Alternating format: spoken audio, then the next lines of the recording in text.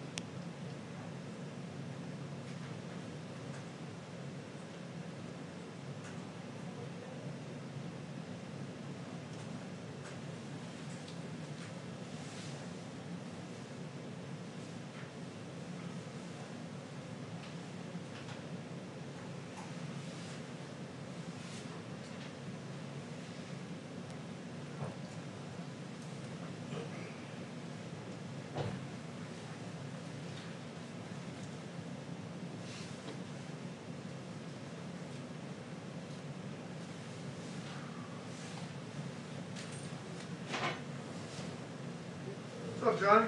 How are you? Living the dream. Yeah. How about you? Always. You going on the trip tomorrow? Yes, sir. You? Yep.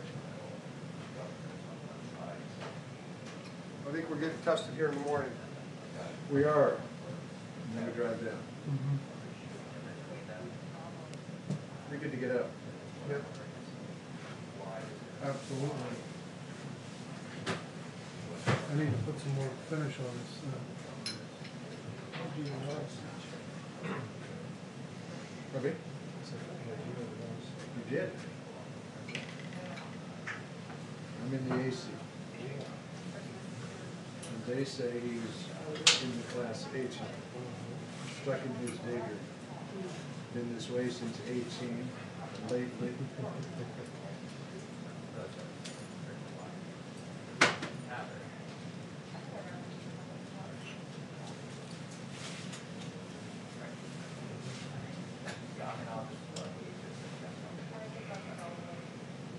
Yes, we're full tomorrow, so we're.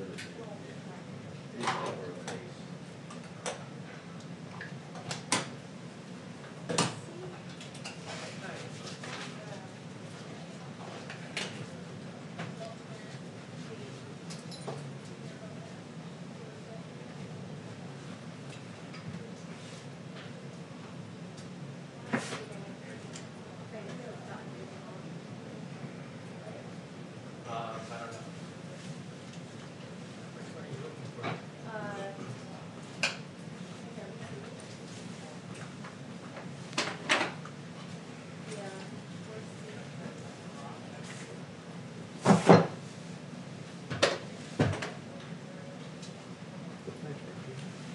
Do we need to aim the camera? Huh?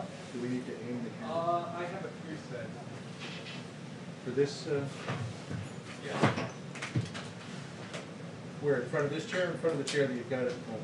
Uh, hold on one second.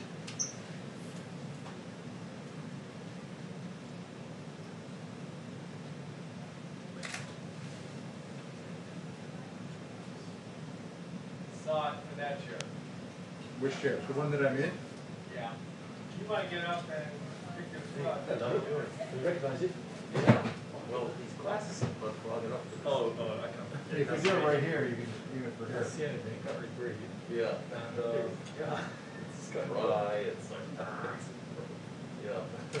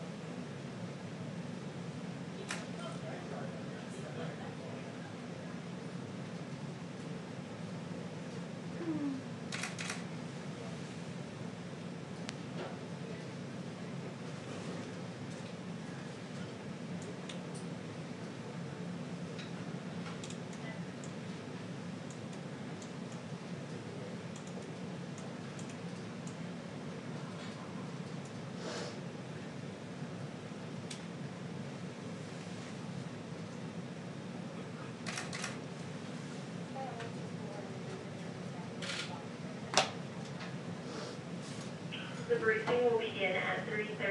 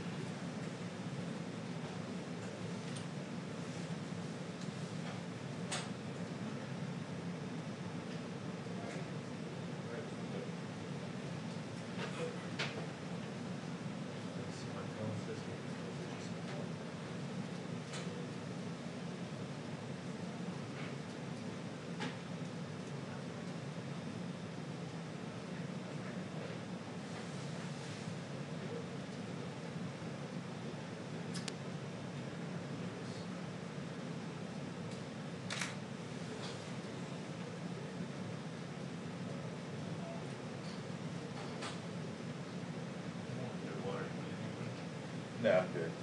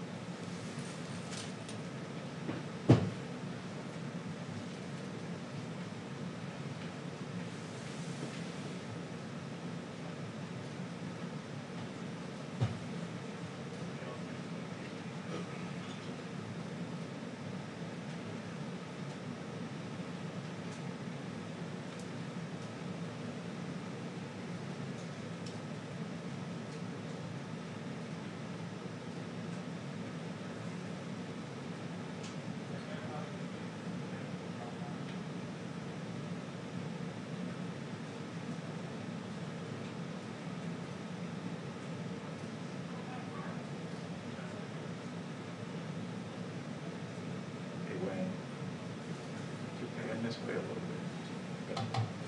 See if I can catch Caitlin. Walk right there, or you wanna go higher? No, no, no, just pan your camera this way a little bit, your lens, so your lens is not sticking straight out much. Just, just until Caitlin. Okay.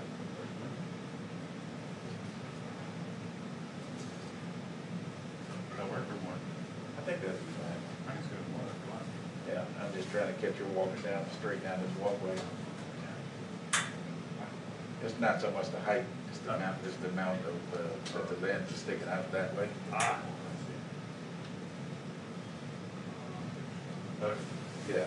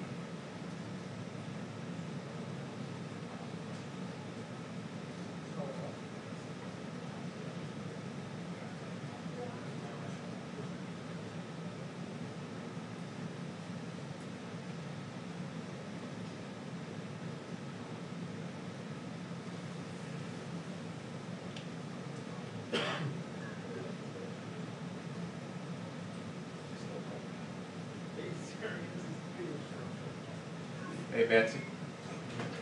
Sorry. Is Caitlin, Caitlin on her way up? Yeah. Okay.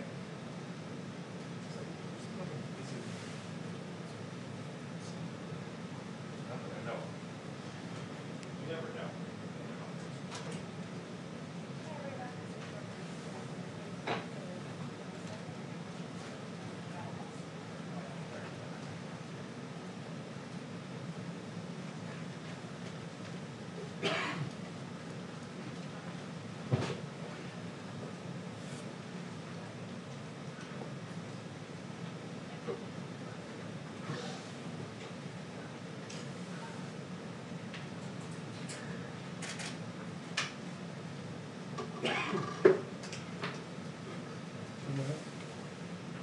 So watch folks, Yes, sir. You shoot that little sliver? that's for the last time of the week. I think you're standing where you're supposed to go. I think you're like, yeah. are you on your exit sign? And then Reuters over here. I think so.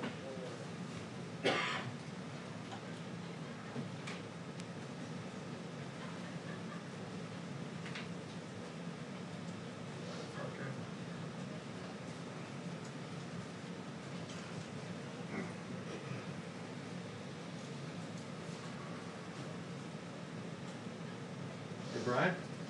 Yeah. Um, I believe we're probably gonna be hitting Cavuto right out of this, so if you could dial in, that'd be great. All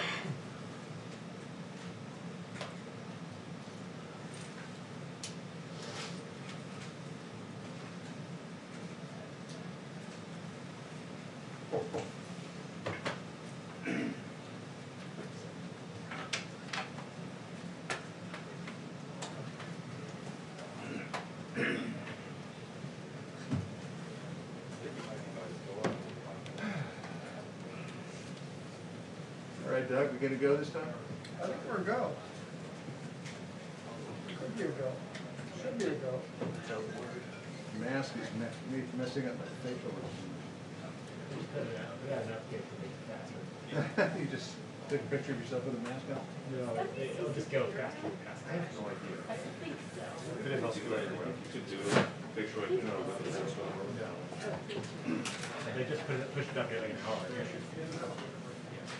They pushed what? The software update an hour ago. Oh, did they? Yeah, it- so it will, instead of, So it transitions more quickly? to the, allow you to be faster. All right. Thanks for the sneeze. Do you have to just update the operating system? Yeah. It's okay. Which will normally take? Two hours. This is not the hot tip that I thought I would get coming in here, but happy about it. At help. There it is. Speeds up access to the passcode field on devices with face app, and you're wearing a face mask.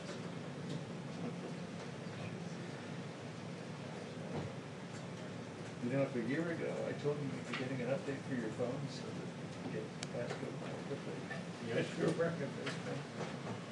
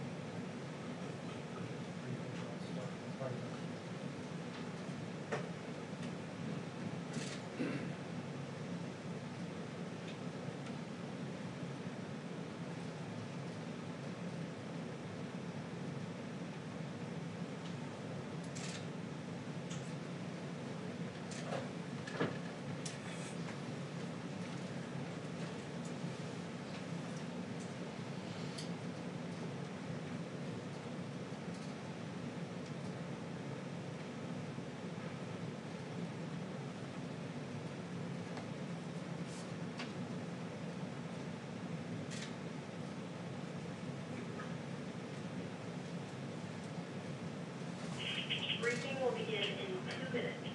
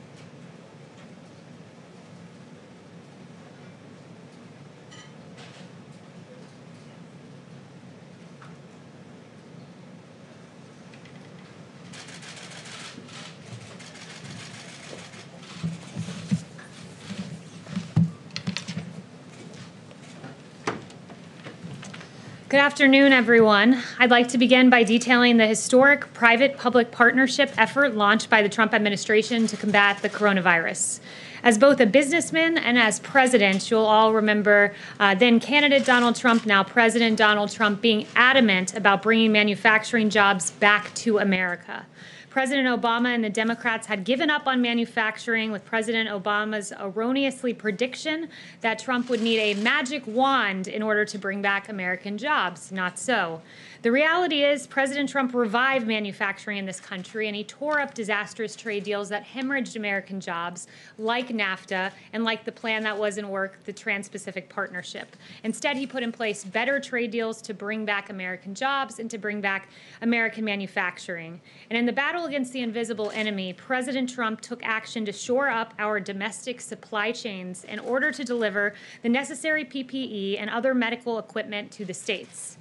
Speaker Pelosi and House Democrats are currently promoting a $3 trillion liberal wish list among a litany of Democrat priorities immaterial to the coronavirus crisis are embedded in this, and one would require the president to appoint a, quote, medical supplies response coordinator who would, quote, serve as the point of contact for the healthcare system, supply chain officials, and the states on medical supplies. I'm happy to report this individual already exists. This bill ignores reality because the medical supplies official is in existence. He's been working on this since March to deliver uh, to date over billions and billion, more than 1 billion, I should say, pieces of PPE to countries and hospitals across the country.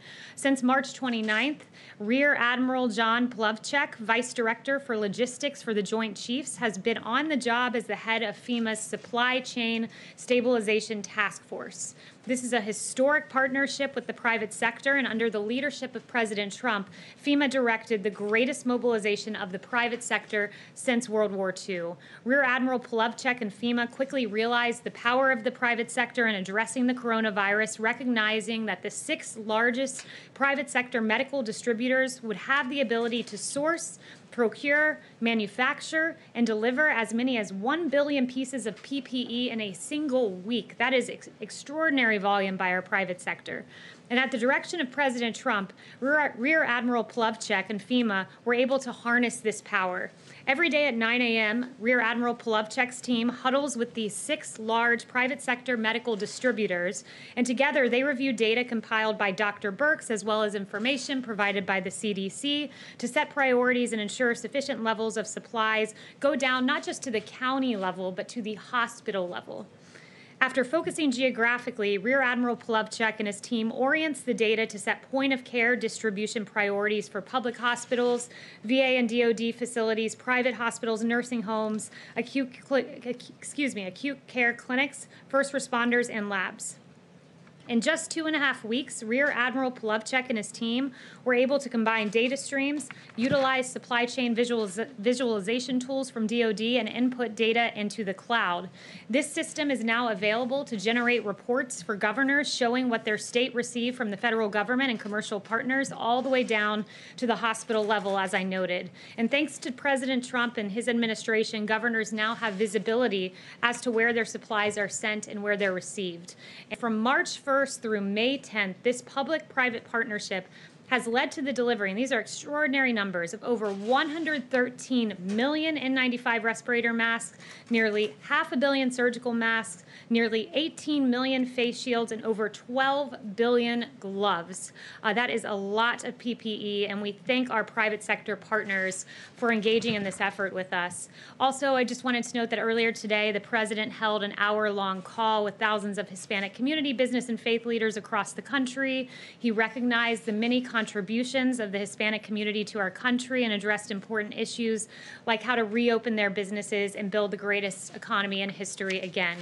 And finally, before I take questions, I just wanted to note on a separate note that I wanted to acknowledge the passing of Ravi Zacharias, a renowned Christian apologist who left this world yesterday. Our prayers are with Ravi's family during this time. He meant a lot to a lot of people around this administration. And as my father said, Billy Graham was the great evangelist, and Ravi Zacharias um, was the great apologist. And uh, we are all thinking about him and holding him close to our hearts and his family today. And with that, I'll take questions. John. Haley, um, what does the president believe is illegal about the Secretary of State of Michigan sending out absentee ballot applications, and what federal funding is he considering withholding from the state of Michigan as a result?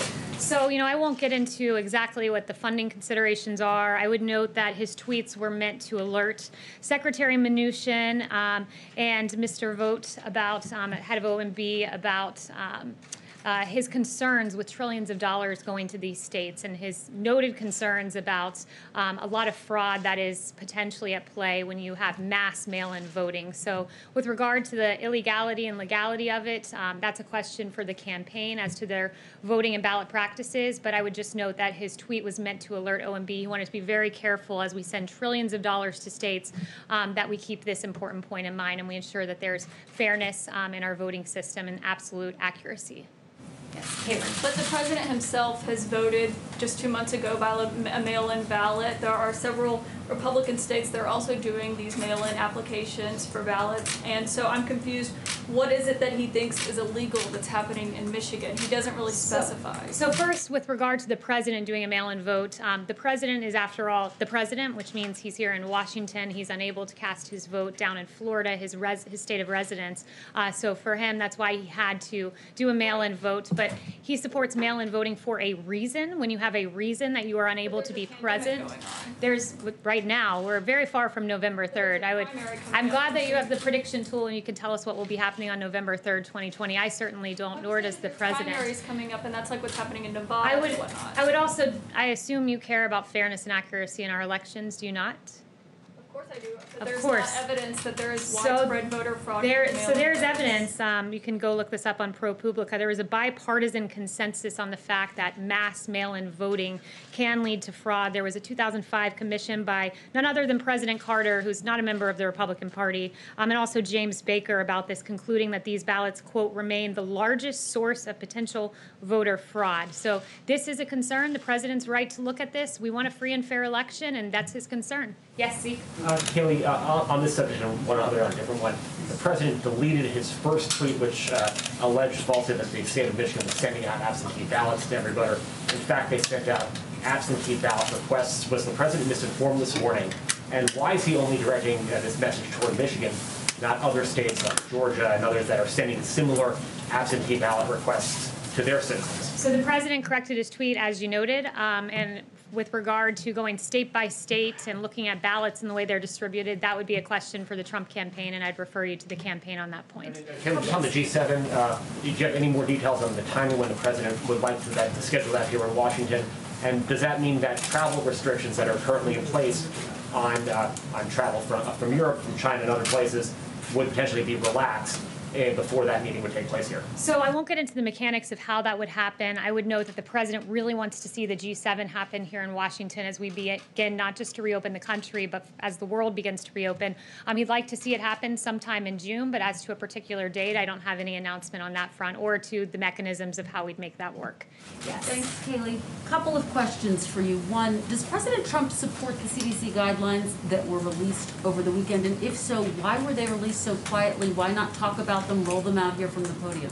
So the CDC guidelines, there was a 60-page document that came out last night that I assume you're referencing. Um, that document, I talked, I talked to Dr. Redfield earlier today about it, and much of that was already out there. So appendixes A, B, C, and D had been out there for a while. Appendix E, um, he said he thinks got posted sometime late last week. Um, and again, these were his rough estimates he was giving me. Um, Appendix F was being discussed, um, and there was constructive criticism of it through the task force and the interagency process. So that was refined. And um, my point in sharing that with you is that the 60 page document was merely an aggregation of a lot of what was already out there. So it's not as if this was new information uh, that we were announcing, but it was um, more guidance pursuant to our reopening of America guidance that was issued um, several weeks ago. The President support the guidelines? Does he think Americans should follow those guidelines, or should they be following the initial guidelines that you rolled out here from the podium? So the president's been very clear. He supports the reopening of America guidelines. The CDC guidelines are in concert with those guidelines. Um, he wants to safely reopen this country. It's very important we do so, and it's um, good to see that most states, I think basically all of them, have plans at this point to reopen, and we're starting to see the safe reopening of several states and Americans getting back to work. Let me just get your reaction to something. We just got moments ago a statement from the American Nurses Association which says, quote, The American Nurses Association has not received reports from nurses or other frontline healthcare workers utilizing hydroxychloroquine as a preventative treatment for COVID-19. Why does the president continue to say that many or thousands of frontline workers are using it as a prophylactic? Well, there is, um, at Henry Ford Hospital is doing a study on this now where 3,000 frontline workers um, will be taking hydroxychloroquine uh, to look at its use as a prophylaxis. Um, I believe there's um, a few hundred or 190 workers in, in Tampa General Hospital. So this is being used by, by some. And one thing I want to note with regard to hydroxychloroquine, because I think it's very important uh, that we're as accurate as we can be with our reporting on this. Hydroxychloroquine has been a drug that has been in use for 65 years um, for lupus, arthritis, and malaria. It has a very good safety profile, but um, it, as with any drug and as with any prescription, it should be given by a doctor to a patient in that context. So no one should be taking this without a prescription from their doctor. But that being said, I've seen a lot of apoplectic coverage of hydroxychloroquine. You had Jimmy Kimmel saying the president's, quote, trying to kill himself by taking it. You had Joe Scarborough saying, quote, this will kill you. Neil Cavuto saying, what have you got to lose? Um, one thing you have to lose are, are lives. Um, and you had Chris Cuomo saying the president knows that hydroxychloroquine is not su- supported by science. He knows it has been flagging, flagged by his own people and he's using it. Um, well, Cuomo mocked the president for this. Um, and interestingly, I found this out just before coming here.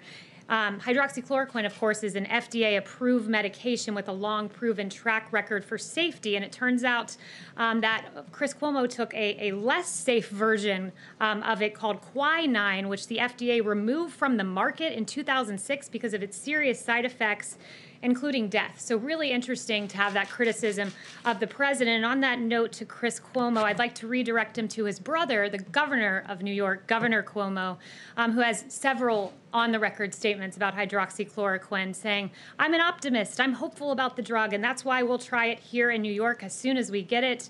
There has been anecdotal evidence that it's promising, that's why we're going ahead. And I have about eight other quotes from Governor Cuomo, should any of you have interest in that. You just cited are studies, though. They're trials that are in their early phases. Do you have any evidence that thousands of frontline workers are currently using it because they believe it actually will prevent them from getting So the COVID-19? FDA, the FDA has approved this for off-label use. You know, this president's a big believer in right to try legislation. People who are in their last, of there are several studies that have been brought that the president has actually mentioned that I'd refer you to. There was one out of France, a French study um, involving more than a thousand patients that found that the vast majority had quote good clinical outcomes, and by the vast majority, that was more than 90 percent. There was an Italian study of more than 65,000 patients that demonstrated um, only 20 tested positive of those who were taking it prophylactically, and a South Korea study as well. So there are several studies, and if you're someone out there and uh, this is a safe drug to use, and your doctor, importantly to underscore that, and your doctor prescribes it for your use as a prophylaxis or after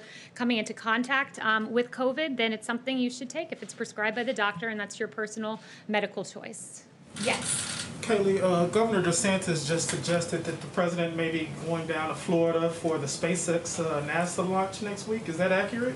So we have no news on scheduling at that front, but if I, if I get news in the future, I will certainly provide that for you. Yes, Jeff. Uh, Kayleigh, how often does the president talk to Director Vought or Acting Director Vought from the OMB? To who? To the Acting Director of OMB. Often. Um, I, he just was in the Oval Office with the president, so they do speak often. I don't have a readout of the president's schedule, but they do speak um, regularly. If he wanted to flag to him his concerns about Michigan, why didn't he just tell him instead of sending a tweet? Because the president believes in unprecedented transparency, and I'm sure you as a journalist um, are, are very eager and excited when you learn about the president's decision-making process in real time, whether that's on Twitter or from me here up at the podium. You just said that was Yeah. that was the reasoning for him expressing. I his didn't say that was the reasoning, but I'm saying this is a transparent president, and I think that that's something that you should be lauding rather than questioning as to why he decided to tweet this. Yes. apart from President Macron, do you have any other answers from G7 leaders that they, they, they are willing, definitely willing to come here? So I won't get into the president's private conversations and correspondences um, with world leaders, but we do hope to see this happen. We hope um, that. How can you characterize the response It's been great, sounds like a good idea, or, or thinking about it? So I don't have any information about the response from world leaders, but we certainly hope to see this happen. Yes. Yes, thank you. Could you clarify, please, President Trump's comments about uh, saying that it was a good idea, it was good that there were so many positive tests for, uh, for uh, COVID-19, whereas a lot of people look at that and say that this was actually uh, terrible, that we have actually one-third of all the cases in the world. Well, look, I, I would note this, that um, the president, what he was saying there is that we are testing. When you have more cases, um, in order to identify those cases, you have to have tested um, a high volume of people. So the more you test, um, the more uh, cases numerically, not necessarily as a percent positive, but numerically, um, you will see just by volume, sheer volume of your testing. And the president's done an extraordinary job on this front. Washington Post surveyed governor's offices and state health departments and found that at least a dozen states have testing capacity that outstrips the supply of patients. Uh, that's a very good job done by our federal government in supporting the states. Um, to cite the governor of New York again, quote, we have more sites and more testing capacity than we're using. Um, so we're testing a lot, and thus we're finding um, a number of cases. Um, but as we safely reopen, we do have some encouraging um, numbers on that front that we continue to see a week over week decline, a 15% decline in deaths in just the last week. April 1st to mid May, 50% decline in new hospitalization and under 25,000 cases today. So we are seeing progress. Yes.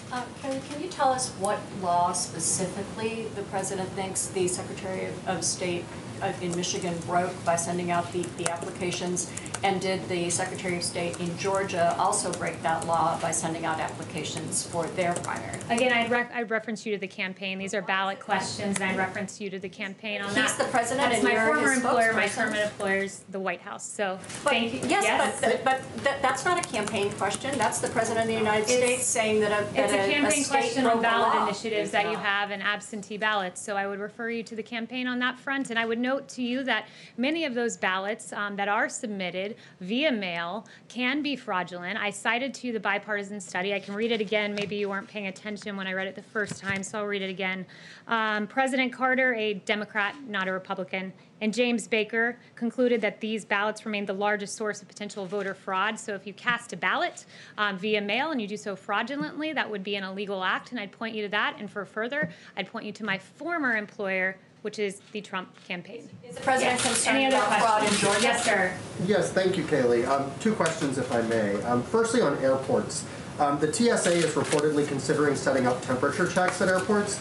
Given the numbers of people who can be asymptomatic or sick without a fever, um, do you think that's sufficient? And why wasn't more done to have screening at airports sooner, uh, particularly in light of the House oversight investigation that called screening from international hotspots in March limited and stagnant? So the president um, is working with TSA. He's working with airlines. We want to ensure that our TSA employees are safe, that those who are traveling are safe, um, and he has had those conversations, and we are keeping people safe um, at the TSA and the passengers as well. Over 500 TSA employees have become sick, and six are dead. So again, uh, you know, do you think this has been enough action and soon enough? We've taken action. We're working with the TSA. We're keeping um, America's essential workers safe, um, and we are praying for all of those who have been affected by And then on, coronavirus. on another front, I wanted to ask about the president's son and business partner, Eric Trump.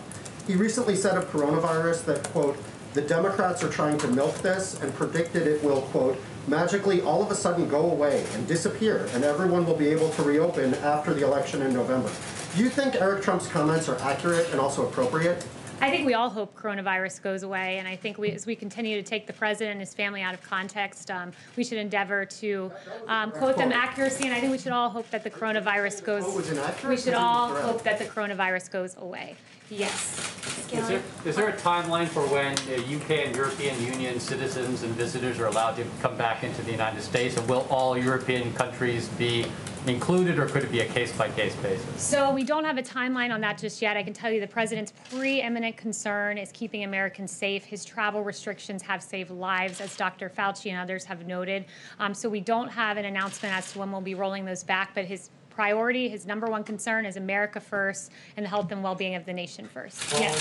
Thanks, Kayleigh. Um, uh, the, a spokesman for Governor Whitmer said that she isn't planning to meet with the president and wasn't given an invitation tomorrow. I was wondering if there's a reason why That wouldn't meet Governor her. Whitmer, Whitmer said. Whitmer in, in Michigan um, wasn't extended an invitation to the president's uh, appearance in Michigan tomorrow. Tomorrow, and I was wondering if there's a reason why he wasn't going to meet with her like other governors. I don't think there was a particular reason. I, it didn't come up, but you know, while I, on that note, I would um, point to Governor Whitmer. Um, it sounds like she's curious about an invitation, but she should be quite happy that, um, thanks to this federal government, FEMA obligated more than 216.2 million dollars to Michigan, 8.6 million N95 respirators, 740,000 18 surgical masks, 311,571 face shields. I should round these up, or we'll be here all day. 760,000 gloves, 700 ventilators. Um, the president has done quite a bit for Michigan, and her concern's and invitation, but she should be thanking the president for all the supplies that he's delivered to her state. Yes. Yes, Kayleigh, uh, the president has uh, made clear that he's concerned about liability issues as companies re- reopen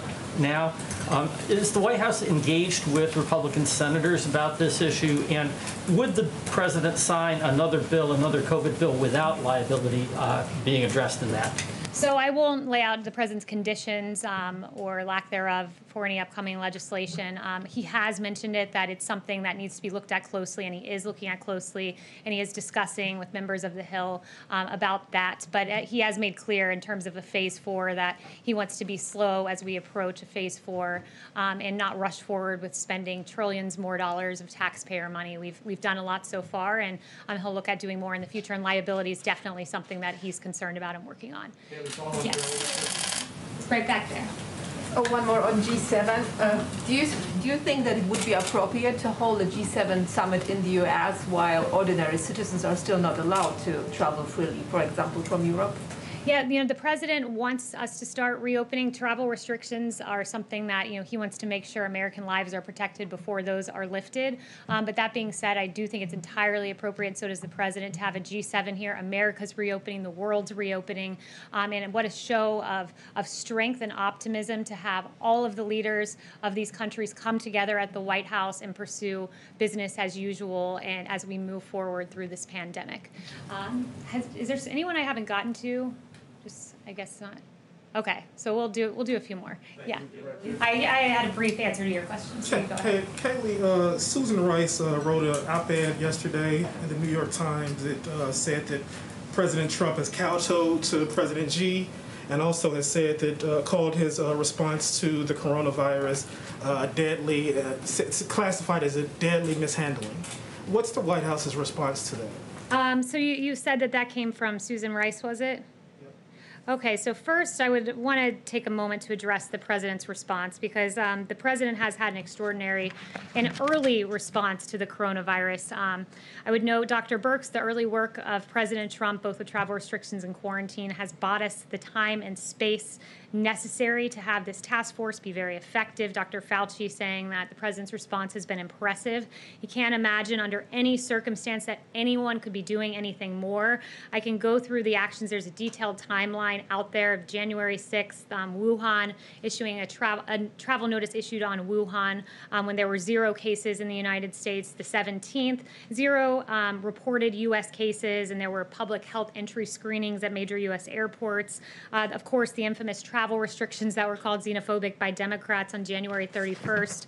A lot of action in February on developing a test um, and making sure we were moving forward as speedily as possible on that, um, keep in mind in late Fe- February, Pelosi was saying, come to Chinatown, it's very safe. But the president had already taken very early action. And I know you brought up Susan Rice in that context, but I'm going to bring her up in another context that's equally as new- newsworthy, and that is uh, the email that was declassified. Uh, from Susan Rice on Inauguration Day, which is so peculiar. It set the scene. It's Inauguration Day.